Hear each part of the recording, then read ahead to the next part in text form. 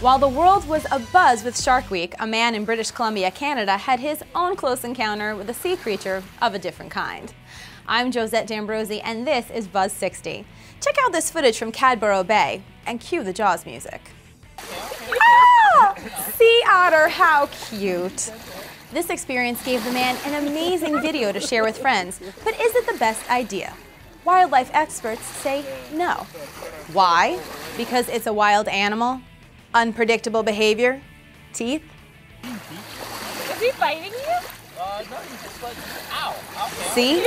In fact, the Vancouver Aquarium posted the video on its Facebook page as sort of a what not to do for the public. Basically, like every episode of Jersey Shore. But I'm sort of jealous. Who wouldn't want to frolic in the surf with a sea otter? I've seen my neighbor's dog attach itself to people's legs hundreds of times. It wasn't as cool. Buzz 60, now you know, pass it on.